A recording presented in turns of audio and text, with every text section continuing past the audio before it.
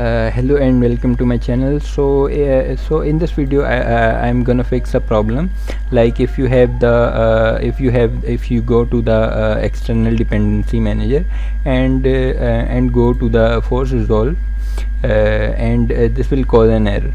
So uh, uh, so uh, so this is just a weird error uh, and we will solve this now. So you just have to go to your go to your preferences in in the edit go to the preferences and then here you you just need to untick that and untick all uh, so this is weird just we have to uh, we have to do, uh, do, it like that.